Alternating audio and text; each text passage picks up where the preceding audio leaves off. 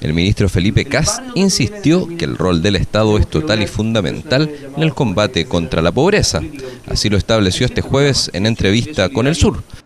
El secretario de Estado de visita en la zona argumentó que para la solución de este flagelo, la simple operación de mercado no es suficiente, sino que se requieren subsidios fiscales con el objeto de acompañar a las familias. Aquí estamos entregándole una solución muy potente a medio millón de chilenos que a pesar de estar en Chile Solidario, todavía viven con la angustia de no tener ni siquiera los recursos para poder alimentar a sus hijos en las noches. Están viviendo con 80 mil pesos al mes. Si alguien cree, algún diputado se atreve a decirle a la gente que con 80 mil pesos es suficiente y que no corresponde aumentarlo de 80 a 120 mil pesos, la verdad que simplemente yo no entendería qué hacen la política ese diputado. Así que estoy convencido de que vamos a contar con el apoyo transversal para medidas como esta, que van en beneficio directo de los más pobres de nuestros Así se entienden medidas como el sueldo ético y la mantención de programas como Chile Solidario.